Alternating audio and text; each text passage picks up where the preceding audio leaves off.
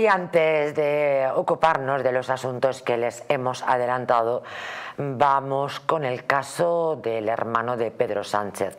Es un caso, señoras y señores, que no hace otra cosa más que crecer. Entre las noticias que hoy queremos compartir con todos ustedes, eh, comenzamos con una de ellas que habla de cómo al hermano de Sánchez se le aupó a un puesto de mayor envergadura y naturalmente pues con un mayor sueldo. Eso sí, sin ningún tipo de concurso público. Verán, la justicia sigue ampliando la investigación del hermano de Pedro Sánchez y cada día, pues como les decía, surgen nuevas irregularidades, como por ejemplo esta a la que apuntamos. ¿Cómo es posible que no haya un concurso público para un caso de estas características? Bueno, en este caso, si entramos justamente en la contratación, por lo general las reglas de contratación pública para poner un ejemplo, prácticamente en casi todo hay que hacer un concurso público, salvo en, por ejemplo, temas de iluminación o temas artísticos, porque por la singularidad del tema. Voy a poner un ejemplo. Si yo en las fiestas de mi pueblo quiero tener a un artista famoso, se me viene a la cabeza, por ejemplo, Melendi, no hay otro que sea Melendi. Entonces, yo directamente puedo hacer la contratación sin hacer un concurso público. ¿Qué es lo que ocurre, por ejemplo, para temas artísticos o personal directivo, que es realmente lo que han elegido? Que tú lo eliges por la secularidad de sus capacidades o de sus características personales. Es decir, que se haría lo que podría ser una selección ad hoc, o lo que viene siendo más comúnmente llamado a dedo. Entonces, ¿está bien hecha la elección desde el punto de vista legal y jurídica del hermano de Pedro Sánchez? Sí, Sí, está bien hecho. ¿Por qué? Porque al final atiende a que es un puesto directivo, era el que llevaba todo el tema de los conciertos en la zona de, la Diputación, etcétera, etcétera, etcétera. Otra cosa es que luego dentro del contrato que firmara, que es lo que hemos visto durante todos estos, durante todos los programas y durante todo este mes y todo lo que ha trascendido en las noticias, al final no haya cumplido con su contrato. Pero por lo menos podemos decir que dentro de todo este caso, que la verdad que ha dado mucho de sí, no ha habido por lo menos a priori ninguna irregularidad en la contratación. Lo que pasa es que también es cierto que eh, muchas veces pues que ya parece que si ha hecho todo mal, tiene, hasta la contratación se ha hecho mal. Yo también quiero poner un poco la pausa y la reflexión en que hay ciertos temas pues que si se pueden hacer y en este caso si se han hecho. Podrá gustarme más, podrá gustarme menos, podrá tener mejor mm. cualificación, podrá tener peor cualificación, mm. podrá haber hecho incluso fatal su trabajo o en este mm. caso directamente ni aparecer, pero la contratación se ha hecho correctamente. El caso, señoras y señores, para analizar y reflexionar es que el juzgado que lleva la instrucción eh, de, de este caso ha reclamado esta nueva documentación por eh, un asunto que bueno, cada vez duele más a tráfico de influencias. Y es que, verán ustedes, no solo eh, se le enchufó al hermano a los 11 días de llegar Sánchez a la Secretaría General del PSOE Nacional es que más tarde y para ascender a David Sánchez en cargo y en sueldo, la Diputación de Badajoz le cambió a ese puesto distinto y mejor retribuido. Oigan, esto canta por soleares, ¿no? Antes hablábamos de Begoña Gómez, que efectivamente empieza a hacer tejemanejes en su carrera en los negocios en el mes de septiembre de 2018. Recordemos cuando llega Pedro Sánchez, ¿verdad?, al gobierno en el verano de 2018. Y resulta que el hermano del presidente es enchufado, oiga, a los 11 días de llegar a la Secretaría General. de Prisita, de Prisita, que esto no es una excursión. Yo creo que el timing en este caso pues indica que evidentemente ha habido un trato de favor, incluso, aunque como bien dice Iván, pues de acuerdo a, la normativa pues no sería perseguible. Pero, eh, en fin, pues está claro que si a los pocos días de alcanzar ese cargo le nombran, pues ha habido una llamada ahí. A mí, mm, yo la verdad es que después de todos los meses que llevamos hablando de el hermano Pedro Sánchez, me sorprende que no haya salido en ningún medio de comunicación, ¿no? ¿No sorprende a vosotros que ninguno le haya entrevistado? Y, o sea, para empezar, yo sinceramente no sé ni dónde está. Yo no sé si está en, el extranjero, ya parece como un, un hombre muy, viajado. ¿eh? Sí, sí, parece como, es un, es un misterio, ¿no? Este hombre que ninguno le haya, yo qué sé, un micrófono, un, canutazo que se dice por la calle. A ver si va a ser una realidad virtual. Eso es, un holograma, no existe. algo, porque cuántos meses llevamos hablando del cinco meses y tal, y, en ningún momento nadie se le ha acercado, ¿no? Que estará en Japón ¿eh? con la, mujer o no sé. Bueno, ahora hablaremos de la japonesa y del ministro Álvarez que se lava las manos. Esto cada vez huele peor, señoras y señores. Qué observación tan interesante ha hecho Rafa Pal, ¿no te parece, Iván? Es que al final, eh, aunque haya llegado de una manera legal como siempre hablamos, para ser político no solamente hay que cumplir con la ley, hay que ser ejemplarizante porque al final son nuestros representantes. Y obviamente si después de que tú hayas llegado a la presidencia del gobierno, 11 días después, están contratando a tu hermano con un sueldo para nada baladí, en una situación para nada privilegiada, pues hombre, la verdad llama la atención y yo creo que eso... Para pues, nada privilegiada, para no. Nada, para nada privilegiada, por supuesto. como ironía, ¿verdad? Como ironía, entrecomillado, ¿no? Para nada privilegiada. Entonces, claro, al final lo que nos tenemos que dar cuenta no es que no nos tenemos que centrar en cómo ha llegado, porque todos sabemos cómo ha llegado ahí, nos tenemos que centrar en que se le ha contratado para una función que no ha cumplido, se le ha contratado con unas, con unas condiciones que no tiene, se le ha puesto un despacho ad hoc cuando ni siquiera iba a trabajar y se, y se le pedían unos correos por parte de la UCO que luego resulta que había habido un problema por parte de la, por parte de la Diputación y resulta que dos años de correos habían desaparecido y entonces la UCO tenía que volver a pedir la solicitud hasta que se, eh, hasta que se solucionara el problema. Es decir, no es solamente la contratación, la contratación yo creo que es, incluso te diría yo, hasta lo de menos, pero es que es muchas veces incluso el fondo de la cuestión. Es decir, ¿Por qué, si lo que quieres es dinero, si lo que quieres es colocar a tu hermano, por qué lo pones en un sitio que al final va a acabar cantando, que al final todo el mundo te va a acabar pillando y que va a suscitar muchísimas preguntas? Si lo quieres poner un sueldo de 80, 100 mil euros al año, ponlo de asesor del ministerio, mándalo a la ONU o mándalo a cualquier institución extranjera, pero no lo pongas ahí, que es que todo el mundo lo va a ver. Pues esperen, esperen que la cosa todavía es más dramática porque resulta que el hermano de Sánchez cuando le ponen un trabajo ad hoc, como bien ha explicado Iván Campuzano, pues el tío se va un año a Tailandia pese a que su cargo tenía compromiso de disponibilidad. David Sánchez o David Azagra, eh, tienen ustedes que recordar que el individuo tiene su nombre artístico, fue contratado tras ese proceso de valoración de méritos que incluía un compromiso de disponibilidad. Sánchez logró aquí la máxima puntuación, cinco puntos, sin embargo, su trayectoria posterior pone en cuestión esa disponibilidad para ejercer el cargo, pues tras ser contratado en 2020, decidió cogerse una excedencia de un año y posteriormente alargar su baja de paternidad con un mes de lactancia, el máximo permitido. Mm, ¿Cómo se explica esto, por favor? Sinceramente, a mí lo que me sale después de oír todo esto es cómo vive el capullo. Porque por lo menos su hermano tiene un cargo que le están dando, pero es que el tipo es, mi héroe. Para el agua se va de viaje. Hace lo que le da la gana. ese tipo es mi ídolo. Es sí, mi sí. ídolo. O sea, eh, yo creo que es mejor, o sea, mejor en el, en el, mal sentido que Pedro Sánchez. Ese tío es un jeta, pero vamos, de, de aquí a Lima. Menuda vida se está pegando, ¿eh?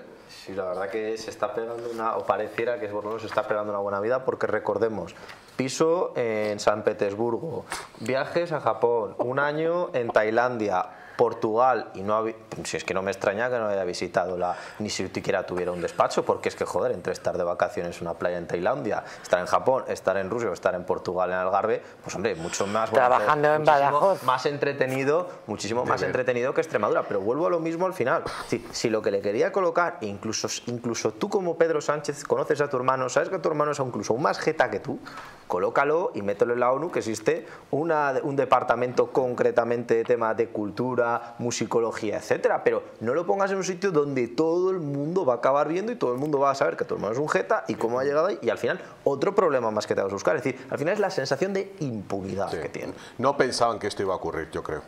Es lo que en ningún momento se habían pensado. Y bueno, al final están funcionando hay que reconocerlo, alguien está filtrando información ahí. O sea, si nosotros los periodistas o los comentaristas estamos comentando esto es porque hay unas investigaciones.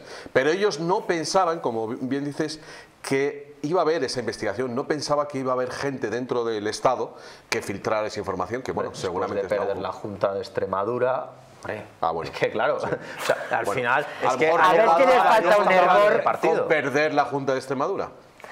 Lo mismo va por ahí. Bueno, estas noticias la verdad es que era para que esbozaran ustedes una sonrisa que ha rematado magistralmente Rafa Pal. Pero venga, vamos a ponernos serios y no es que desde luego no tuviera enjundia que una persona eh, acepte un compromiso de disponibilidad y se largue a Tailandia.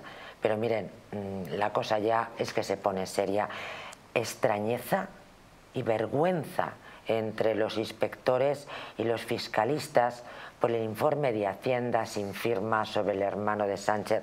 Les hemos hablado en este programa en El Mundo al Rojo de ese informe. Se trata de un informe de 31 páginas en el que se trata de exonerar al hermano del presidente del gobierno de irregularidades y de delitos fiscales y se realiza un análisis detallado y muy imaginativo sobre su residencia fiscal sin firmar y sin membrete. Bueno, es que esto es lo que ha remitido la agencia tributaria a la juez de Badajoz que investiga a David Sánchez hace dos semanas, mes y medio después de que ésta solicitara un informe patrimonial. O sea, vergüenza y extrañeza. Bueno, esto va, abunda un poco en el comentario que he hecho hace un rato acerca de estas batallas internas que hay en diferentes instituciones del Estado. En este caso, Hacienda, he dicho antes bueno, que los inspectores se están comportando, son, vienen a ser una especie de policía al servicio del gobierno. Es cierto, pero al mismo tiempo también eh, es cierto que están salvando la cara y eh, tanto asociaciones de inspectores de Hacienda como mm, ex inspectores están diciendo mm, las cosas que se están haciendo mal y están denunciándolas. Lo que pasa que, bueno, al final, pues eh, digamos que la institución pues está al servicio del gobierno y entonces se producen estos desencuentros entre lo que los inspectores de Hacienda saben que está mal y estos informes que encima no iban a firmar pues para que no quede claro que es el propio gobierno el que lo está redactando. Bueno, pues que al final hay alguien en el propio Ministerio de Hacienda, primero, que venga sin rúbrica, si lo han pedido el Ministerio de Hacienda, pues tendrá que tener la rúbrica por lo menos del Ministerio de Hacienda, que es que eso ya es hasta de cutreza a la hora de enviar los papeles, ¿no?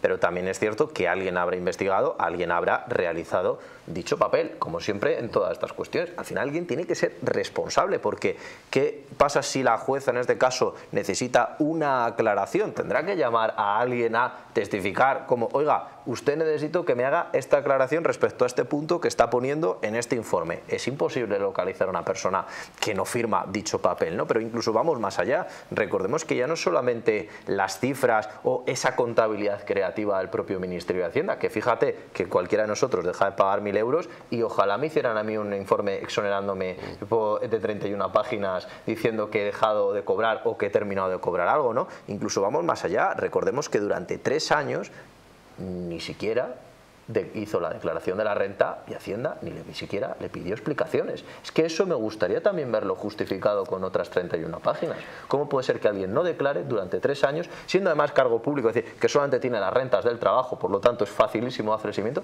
y no haya hecho la declaración de la renta? ¿Cómo se justifica eso? ¿Cómo Hacienda puede justificar dicho error? La acusación, siguiendo con el caso del hermano del presidente, está ya pidiendo los movimientos bancarios. Movimientos bancarios en cuatro países, porque como bien decíamos, el hombre es muy, pero que muy viajado. Acte hoy solicitará las cuentas de David Sánchez en el extranjero. La asociación eh, que preside Ignacio Arzuaga va a pedir a la juez que investiga al hermano del presidente del gobierno que siga la pista económica y demande la información sobre sus movimientos bancarios en Portugal, en Rusia, en Tailandia y en Japón. La intención es que la magistrada remita un oficio para recopilar posibles depósitos en el exterior, los cotitulares de dichas cuentas y las personas que están autorizadas a realizar movimientos. La demanda debe tramitarse a través de manos limpias que ostenta la representación procesal de la acusación popular. Rafa Pal, eh, cuentas en cuatro países, si es que es nuestro héroe. Mm, bueno, mm, y, si tiene esas cuentas eh, el señor David Sánchez, ¿qué no tendrán su cuñada y, su hermano? Esa es la, la gran duda. ¿Cuándo realizarán una investigación en este caso de Begoña Gómez, en serio de sus negocios en Marruecos. Eso es lo que nos estamos preguntando todos. Y a lo mejor de esta manera podemos explicarnos las noticias que vamos a compartir con todos ustedes dentro de unos minutos sobre la invasión que está sufriendo España de la inmigración ilegal que llega del Magreb. Pues yo fíjate que simplemente viendo el tema de las cuentas no me sorprende, primero, que alguien que se dedica a viajar mucho tenga muchas cuentas en el, en el extranjero, al final es normal, si esto estás en un año en Tailandia, pues no es práctico operar ¿no? con, un, con, un, banco español. al final, entre las comisiones, entre no sé qué, al final, pues es realmente complicado. ¿no? Pero lo que, no lo que sobre todo deberíamos de ver no es tanto lo que tienen las cuentas extranjeras, porque probablemente no tenga tanto, no tenga tanto dinero ni siquiera, sino más allá, porque si realmente lo tuviera, pues ya lo habría movido a algún paraíso fiscal, ya habría hecho alguna empresa pantalla, es decir, que realmente ahí no va a encontrar nada Hacienda, lo que hay que mirar es sus movimientos internos y sigo, sigo al final aplicando mismo, qué y de dónde y por qué aparece 1,3 millones de euros de acciones del, del BBVA. O sea, al final, eso, si vamos a la valoración, es, oiga, con un sueldo de 60, 80 mil euros, ahorrar 1,3 millones de euros, sobre todo cuando te dedicas a viajar por el mundo, que no es precisamente barato, ¿cómo usted ha conseguido ese dinero? Si es que es muy sencillo. Ah, los créditos ICO, lo mismo. ¿Por qué al final tiene, tanta, tiene tantas ramificaciones? O sea, no es las cuentas en extranjeros, ya simplemente lo que tiene aquí. Ya con eso ya nos dan para mucho. Les voy a recordar a todos ustedes eh, los datos. El músico ha declarado un patrimonio de 1,7 millones de euros, de los cuales 1,3 están invertidos en esas acciones del eh, Banco del BBVA, como bien ha indicado eh, Campuzano, un aumento de más de 300.000 euros en los últimos cinco ejercicios fiscales, una cantidad inasumible con el sueldo que recibe de la Diputación de Badajoz, donde cobra 53.890 euros anuales, que oiga, es un sueldo eh, muy competente, pero para tener un, casi 2 millones de euros. Yo simplemente hago una, simplemente hagamos un cálculo para que lo para que lo vea el espectador. Si yo gano 53.000 euros, estamos hablando del sueldo bruto, se nos quedarán aproximadamente unos 40.000 euros al año. 40.000 euros al año durante 5 años son 200.000 euros. Si me ha crecido el patrimonio en 300.000 hay algo que no me cuadra. No, no necesito saber nada más. Son habas contadas, ¿eh? Yo no necesito saber nada más. Entonces, ¿Ha, podido dar formación en el extranjero? ¿Tiene alguna compatibilidad dentro de su contrato que pudiera justificar que ha ganado dinero? Pero que para qué va a necesitar compatibilidad, querido Rafa Pal, este hace lo que le sale de los pies. Bueno, y la vivienda que tiene en San Petersburgo, me parece, ¿no? También. Y en, y en Elbas, en Portugal. Muchas propiedades. En fin, bueno, pues vamos a seguir con el mismo caso. Álvarez, el ministro Álvarez, claro, ahora ya yo creo que se están empezando a echar para atrás. Ahora se desentiende de la contratación de la japonesa. ¿Quién es la japonesa? La japonesa vinculada, dice, al hermano de Sánchez. Hasta donde yo sé, era su pareja.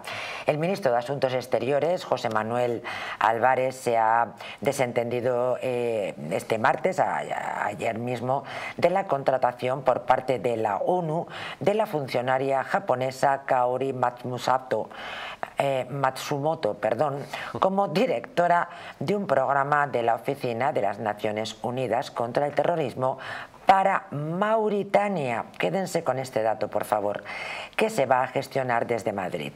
El portavoz de Vox en la Comisión de Exteriores del Senado, eh, Ángel Pelayo, ha eh, identificado a esta mujer como la esposa del hermano del señor Sánchez.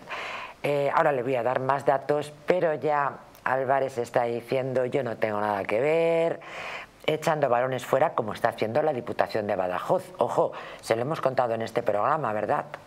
Y todo esto sin ninguna fotografía de la persona. Tú sigues en lo tuyo, ¿verdad? Siendo un, misterio, ¿no?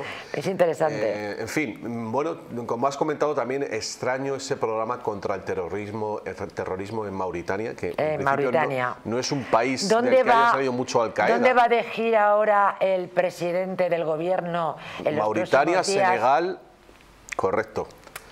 Sí, algo tendrá que ver más que con el terrorismo, con el tema de la inmigración, parece, ¿no? Mm. Debe haber contactos al más alto nivel con esos gobiernos, está claro. El caso, señoras y señores, es que la plaza de directora de este programa se creó poco después en un proceso interno de la ONU y había sido adjudicada a esta mujer, a Kaori Matsumoto. ¿Qué puede mm, explicarnos acerca de esto? ¿no? Eh, ha ido de alguna manera el diputado de Vox. Bien, el ministro ha replicado que una de sus prioridades es que haya el mayor número de sedes de organismos internacionales y de Naciones Unidas en España y ha dicho sentirse muy orgulloso eh, de que, eh, en fin, está eh, uno, un OCT que es como se llama esta extraña, en fin, esta extraña oficina de Naciones Unidas contra el terrorismo que se ha abierto, pues nada, que que está el hombre como muy orgulloso que se haya abierto esta oficina en la capital española desde 2022. Dice que desde su creación somos el primer donante y lo vamos a seguir siendo mientras sea ministro de Asuntos Exteriores. Una vez que eh, entrega la contribución voluntaria es Naciones Unidas quien decide cómo se rige, cómo se establece y cómo se gestiona, ha puntualizado Álvarez. A mí lo que me fascina es que, mm, por una parte, siguen diciendo que no va a haber dinero para las pensiones, que España está en la bancarrota. Pero hay dinero para todo el rato del déficit y, mientras tanto, se está regalando dinero a otros países. O sea, es que es algo que, que es que yo creo que la gente no se da cuenta, o sea, del sinsentido que es que no tengamos dinero y que lo estemos regalando al mismo tiempo. Eso es una disonancia cognitiva tremenda. Bueno, pues si te estás enfadando eh, por este extremo, mm, prepárate porque vienen curvas. Señoras y señores, les vamos a, contar cómo entran más de 500 inmigrantes ilegales en Barajas trasladados por el gobierno desde Canarias. Y es que la crisis migratoria en el aeropuerto de Barajas eh, continúa. Casi estos 500 inmigrantes ilegales de origen subsahariano han llegado a Madrid procedente de las Islas Canarias. Eh, según eh, Rubén Pulido, analista y experto en inmigración, em, quien ha publicado en sus redes sociales un vídeo donde se ve la llegada de un gran número de inmigrantes africanos a una de las terminales aeroportuarias de la capital de España. Estos traslados han sido operados por las aerolíneas Iberojet y Air Europa en acuerdo con el Ministerio de Inclusión, Seguridad Social y Migraciones del gobierno de Pedro Sánchez. En fin. Bueno, eh, esto nos lleva a, preguntarnos qué estará pasando en multitud de pueblos de España, porque es que, claro, mm, en principio yo creo que todos pensamos un poco en Madrid, en Barcelona, en Valencia, en Bilbao, en las grandes ciudades, pero nos enteramos, por ejemplo, a raíz del caso del niño de Mocejón, que están llegando mm, grandes cantidades de inmigrantes a pueblos muy pequeños. Hoy he leído que en un pueblo de Galicia de repente han llegado 300 que son. El 60%. Que son más, de la gente del pueblo. Imaginaos eso de repente, para el que, haya que tenga pueblo, como en mi caso, un pueblo de Burgos, me imagino eso, lo que pasaría, que de repente cambie por completo eh, el componente mm, étnico me refiero a etnia, a la manera de vivir. O sea, es que de repente. A la cultura, la forma de estar en el mundo. Eso, eso, es algo que, desde luego, si, si hubiera prensa libre, mm, al margen de, medios como este, alguien tendría que enviar un, equipo de reporteros a, preguntarle a la gente bueno, que no sé si se atreverían a decir la verdad, ¿qué es lo que pasa? ¿Cómo, ¿Cómo cambia tu vida de repente cuando mm, de la noche a la mañana ves que ha cambiado por completo? Cuando en esos pueblos, perdona, eh, de repente esos pueblos pequeños viene alguien de fuera y ya son cotilleos, simplemente una persona, una familia, porque es así, es cotilleo, de repente te vienen 300 de otro continente, pues evidentemente te va a trastocar tu manera de vivir. Hablas de prensa libre, enseguida vamos a acercarnos a cómo el gobierno abre ya la puerta a, a censurar, a mm, cuestionar, a intervenir en las redes sociales. Tiene mucho que ver con lo que has comentado, se lo vamos a contar luego porque tiene mucho que ver con estas circunstancias y con el celebérrimo ya, ¿verdad?, delito de odio. Eh, les voy a dar dos datos más sobre esta noticia. Cabe decir que el gobierno de Pedro Sánchez ha fletado, mm, miren, presten atención porque es importante, desde el pasado 10 de octubre de 2023 hasta el viernes 28 de junio de 2024, al menos 100 vuelos de inmigrantes ilegales procedentes de Canarias. Los vuelos que traían a estas nuevas personas en situación irregular se sumarían a las que ya han llegado a la península, lo que en fin nos llevaría a, en fin, a unas cifras escalofriantes donde, como les contábamos ayer, el PP está reclamando, está exigiendo al gobierno que declare ya inmediatamente la, la emergencia eh, de inmigración. Yo creo que algunas personas que nos está viendo se preguntará por qué, por qué los envían en avión. Y yo creo que la respuesta es porque si toda esa gente que está llegando en avión, que llegan de noche a Barajas, y prácticamente pues en la clandestinidad, salvo estos vídeos que está poniendo Rubén Pulido, no se ven, darían eh, mucho más el cante si todo ese número de inmigrantes llegaran a las costas en estas lanchas que llaman pateras. ¿Por qué? Pues porque eh, cuando llegan a una playa la gente los graba y lo comparte. Entonces da mucho más el cante eso que enviarlos desde, en avión desde las Islas Canarias. Miren la situación que estamos viviendo en una puerta de acceso de la inmigración ilegal como es Barajas. El Colegio de Abogados de Madrid está comparando ya la situación de Barajas con la de un campo de refugiados. Juan Manuel Maillo, miembro del Colegio de Abogados de Madrid, ha hablado este mismo miércoles em, Es la Mañana eh, de Federico sobre los problemas de los letrados que tratan con inmigrantes en barajas. El abogado ha explicado por qué le parece insostenible esta situación, asegurando que los funcionarios policiales están desbordados tratando de solucionar el caos con buena voluntad, pero con una falta enorme de medios. Bueno, pues se ha asemejado, insisto, esto es desde el Colegio de Abogados de Madrid, ha asemejado la situación del aeropuerto como más propia de un campo de refugiados que de un aeropuerto nacional. Por ello ha concluido que no se puede hacer una asistencia jurídica adecuada en unas condiciones adecuadas. En cualquier caso, les recordamos cómo en este mismo programa durante el invierno hemos podido ofrecerles a todos ustedes imágenes en vídeo sobre la saturación que se estaba viviendo en el aeropuerto de Barajas con personas hacinadas, durmiendo en cualquier lugar. Eh, el personal del aeropuerto se quejaba, pero es que ahora es el propio Colegio de Abogados. Es decir, parece un campo de refugiados. ¿Qué está haciendo Sánchez con España?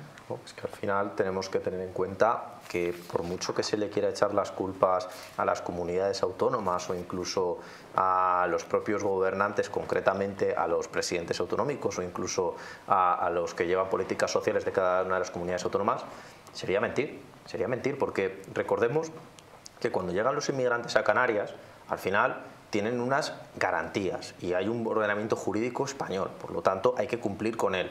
Los funcionarios, los funcionarios lo hacen de una manera extraordinaria, pero lo que está claro es que ni se destinan suficientes recursos ni se destina suficiente personal. Si Pedro Sánchez es consciente que va a tener que fletar 100 aviones llenos de inmigrantes y que van a tener que pasar por barajas para cumplir con las garantías jurídicas que tienes que darle a cada una de esas personas, independientemente de dónde venga, pues tendrás que destinar un personal, tendrás que destinar un dinero y no dejarlas hacinadas como si fuera un campo de refugiados. ¿Y a ustedes no les avergüenza que tengamos que destinar dinero para personas que llegan ilegal a nuestro país, pero la señora Mónica García, a la sazón ministra de Sanidad, niegue un medicamento contra el cáncer eh, que podría salvar numerosas vidas de españoles? Qué vergüenza de España, señores es que al final no hace falta ni siquiera ir al medicamento del cáncer. Recordemos lo que ha pasado con la ley ELA en este país. Efectivamente. O sea, no hace falta ir más lejos, es decir, no hay dinero, es un gasto eh, impropio, etcétera. Es una de las mejores proposiciones que ha hecho el Partido Popular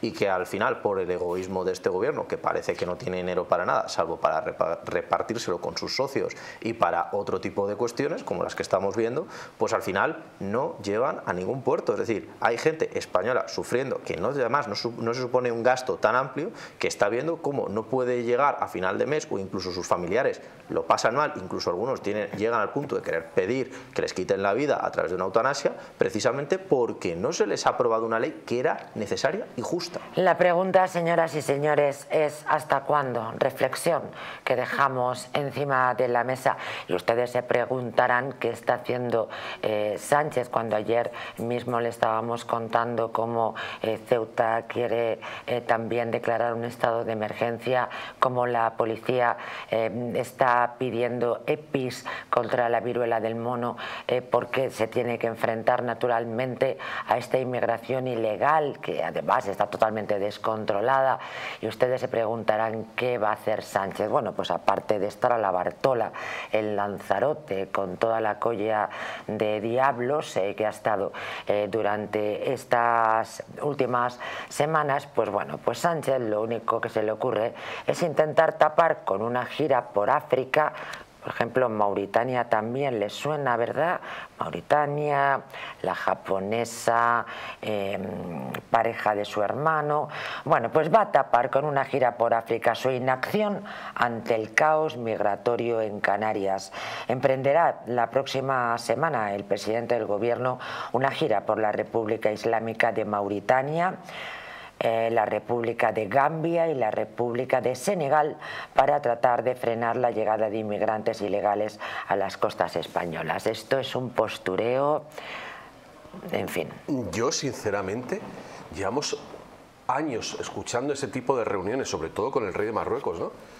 acerca de la regulación de la inmigración, pero ninguna de esas reuniones ha, logrado pararlo. Entonces, a mí me gustaría que a la vuelta de este viaje algún periodista le preguntara y vamos a ver cuáles han sido los acuerdos con el gobierno de Mauritania, el de Gambia y el de Senegal. ¿A qué tipo de acuerdos han llegado ustedes? ¿Qué contraprestación va a hacer España y cuál es el compromiso de esos gobiernos? Porque si siguen llegando, entonces habrá que decir que han incumplido ese acuerdo o que Pedro Sánchez, en contra de lo que nos están diciendo, no ha ido ahí para pagar la invasión migratoria, sino todo lo contrario habría que pensar mal. Fíjense que además se da la circunstancia eh, de que cerca de Lanzarote, donde el presidente del gobierno está pasando sus vacaciones, eh, yo creo que hace apenas unos días se ha instalado una carpa porque se prevé instalar allí a 8.000 menores, a 8.000 menas, a 8.000 personas que llegan de manera ilegal a España. Y que bueno, más allá del buenismo y las estupideces de algunos, les vamos a recordar que en este programa también se les ha demostrado a todos ustedes cómo esos menas enternecedores son gachos como armarios que se bajan eh, de de sus pateras con sus neoprenos, su teléfono y después me voy a callar de lo que sucede a continuación en las ciudades de España. Pues sí, las imágenes que se están filtrando confirman que no sé si todos, pero seguramente la mayoría son jóvenes adultos y no niños de 17 años. ¿Qué van a ser niños? No es cierto, pero claro, mm, nos encontramos con el mismo problema todo el rato. Vemos unas imágenes por parte de algunos periodistas intrépidos como Vito Quiles, pero el resto de la población no se entera, siguen pensando, por, alimentado por su discurso, de que son niños, que son niños desamparados. Y desde luego, e incluso a un chaval de 17 años ya no es un niño. Y si encima están teniendo comportamientos, algunos de ellos, no todos, pero algunos de ellos, eh, violentos o delincuentes, pues, eh, pues estamos importando mm, problemas básicamente para, para España. Bueno, al final tenemos que entender que la realidad de cada uno de esos chavales, sean más jóvenes, menos jóvenes, pues es realmente distinta, ¿no? Y al final también tenemos, también tenemos que entender que es una cuestión de recursos y sobre todo que al final es una cosa que se, ha, perdido el discurso hace bastante tiempo, pero el tema de la integración, parece que hablar de integración, parece que hablar de educación, parece que hablar de solidaridad también en este tema entre comunidades autónomas, parece que ha pasado de, parece que ha pasado de moda, pero ¿cuál es la realidad? La realidad es que ahora mismo Canarias tiene un problema muy importante, que el gobierno de Canarias no se puede hacer cargo de todos esos, de todos esos menas, de todos esos inmigrantes, y que al final tienen que ser el resto de comunidades autónomas las que ayuden a que realmente pues tengamos, tengamos una mejor gestión de la inmigración. A ver, la realidad, la realidad, contado por amigos que han estado en Marruecos y por cosas que se están contando, es que esos chavales, que no son chavales, son vienen de reformatorios. O sea, han sido liberados por, por, eh, eh, por el, rey de Marruecos, por Mohamed VI, eh, pero realmente mm, son los que no quieren en Marruecos, básicamente. Básicamente, no. Bueno, llama la atención que el Partido Popular esté endureciendo el tono con Vox porque dice que mm, que el reparto de menas es un mensaje eh, xenófobo. El Partido Popular ha presentado un plan para combatir la inmigración ilegal después de que Pedro Sánchez haya anunciado esta gira por África para abordar este tema sin recibir antes al presidente de Canarias. ¿eh? Vamos a recordarlo. La formación de Fijo defiende que su propuesta está muy alejada del buenismo del gobierno y el mensaje xenófobo de Vox ha dicho la vicesecretaria de Política Social, Ana Allos. Em, no sé, ¿dais vosotros vuestra opinión? Eh, yo lo que veo es que hay una voz discordante en el PP que se llama Xavier García Albiol, el, el, alcalde de Badalona, que sí que está dando un discurso muy diferente al de Núñez Feijo pero por lo demás, pues eh, la política del PP mm, y lo que están haciendo, de hecho, en, sus, las comunidades autónomas donde gobierna es exactamente la misma que el PSOE.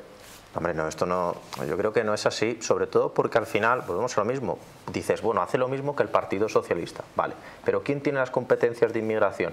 El Partido Socialista de España. ¿Quién es el que decide a esos pueblos que tú mencionas, que llegan hasta un 60% más de inmigrantes, quién es el que decide a dónde se mandan? El Partido Socialista Obrero Español, porque incluso a las comunidades autónomas como a la Comunidad de Madrid, cuando le dice dónde tienen que ir los menas o incluso los inmigrantes, no es que le digan, usted va a recibir mil inmigrantes, cómo lo hacemos, de qué manera desde la delegación del gobierno y se haga un plan estructurado. No. Se les avisa con días de antelación, oiga, usted va a recibir mil inmigrantes y se los voy a mandar, por ejemplo, a Alcalá de Henares. Eso es lo que está haciendo el gobierno. Por lo tanto, hablar de que las políticas del particular son las mismas que las del Partido Socialista, no te lo compro. Perdona, Iván, pero... Es lo mismo que es al final, si al final te los mandan a ti, tú tienes que recibir la orden, ¿qué vas a hacer? ¿Vas a cometer una ilegalidad incumpliendo la orden del, del mm. Estado? O sea, estás diciendo que cometa el, el particular una Ese punto te lo compro. Lo que no te compro es que eh, en realidad el PP está manejando el mismo discurso de que estos tipos son pobres niños desamparados. Y eso lo ha dicho, Isabel Díaz Isabel Díaz Ayuso Isabel, no, no, que, el no, de que cada uno de ellos es una realidad Isabel Díaz Ayuso Isabel Díaz Ayuso ha comprado ese discurso de que son pobrecitos niños y aludiendo a la caridad cristiana y obviando o silenciando las cifras de criminalidad que están asociados a los centros de menas. Yo creo que lo hemos visto este verano con lo que está pasando en Hortaleza, en Madrid. O sea, no, no. ¿me este verano, Isabel Díaz Ayuso no sabe lo que está pasando en, en, Hortaleza, en el barrio de Hortaleza? Pero pues que se dé una vuelta. Que se dé una vuelta. Que se, dé, que se dé una Pero vuelta. La, la pregunta continúa ahí. ¿Por qué nos tenemos que hacer cargo los españoles de un problema que es marroquí? Es que eso no tiene ninguna lógica. Hombre, también le, eh, bueno, también le puedo recomendar a la presidenta del gobierno, si no conoce esta situación, que mm, siga la huella del crimen en Distrito Televisión. Va a tener todo lujo de detalles, lo mismo hasta se ahorra eh, personas de equipo que les informa bastante mal. A ver si ustedes encuentran alguna relación entre todo lo que hemos hablado hasta el momento, el viaje del presidente del gobierno a Mauritania dentro de nada y a dos países más. A ver, a ver si ustedes relacionan. España dispara sus envíos de gas a Marruecos mientras cierra el grifo con vecinos como Italia. El rescate del gobierno de Pedro Sánchez al reino de Mohamed VI es a través de las infraestructuras.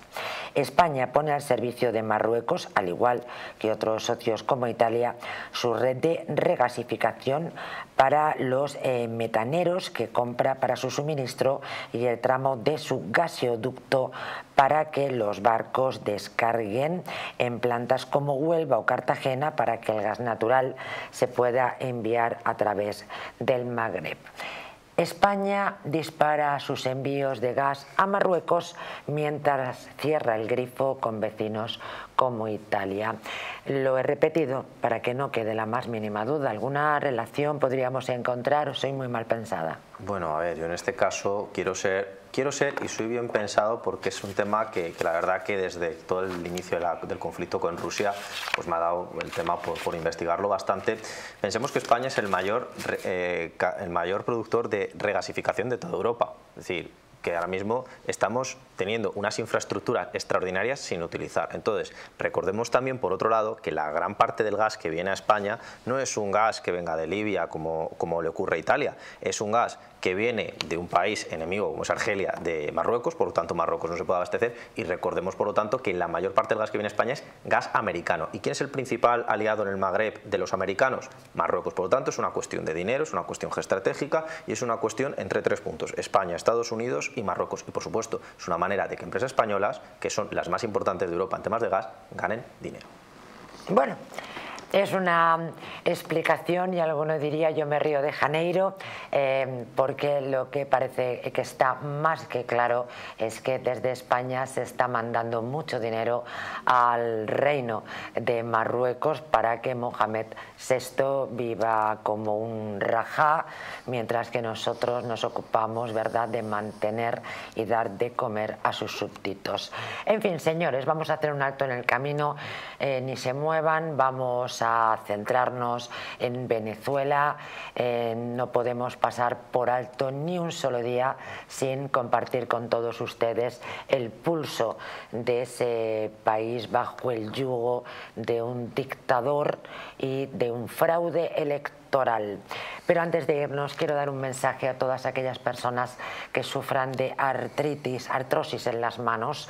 Eh, existen muchos tratamientos, yo creo que ustedes lo saben, sobre todo si, sufren de esta patología tan inhabilitante. pueden encontrar analgésicos, pueden encontrar antiinflamatorios, condoprotectores, terapia física, calor con baños de parafina, fisioterapia, pero yo les quiero hablar de otro tratamiento que ha surgido recientemente es muy eficaz, pero es que es muchísimo más cómodo. Son los guantes de Relax Quantic Nanotech.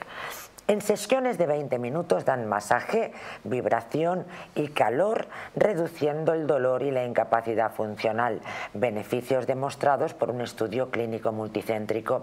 Es muy fácil, ustedes se ponen los guantes, aprietan un botón y esperan a que el guante aplique el tratamiento mientras usted descansa o bueno, eh, si quiere puede realizar alguna actividad siempre y cuando sea ligera. Jugar al tenis no. Se venden además con unos consumibles que están impregnados de sustancias naturales antiinflamatorias que aumentan y mucho ¿eh? su beneficio durante la sesión. Los guantes de Relax Quantic Nanotech de tecnología patentada van a cambiar la vida de millones de personas que sufren esta patología tan incapacitante. Llamen, pidan información en el 900 730 122 900 730 122 y consíguelos además con un tensiómetro gratis. Regresamos enseguida. Toda la información sobre Venezuela nos está esperando.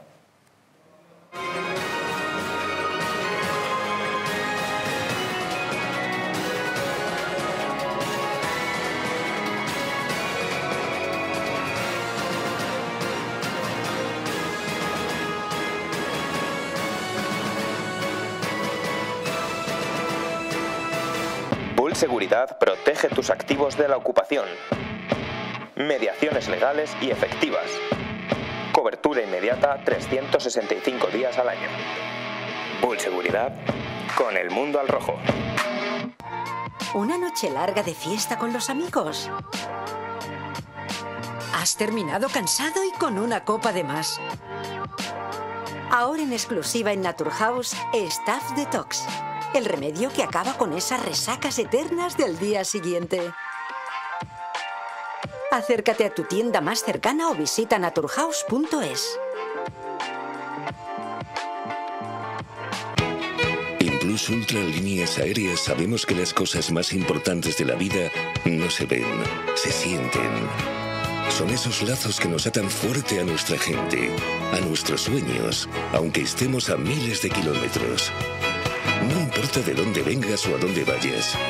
En Plus Ultra seguiremos volando contigo para que nunca te falte lo más importante, los lazos que nos unen. Plus Ultra Líneas Aéreas.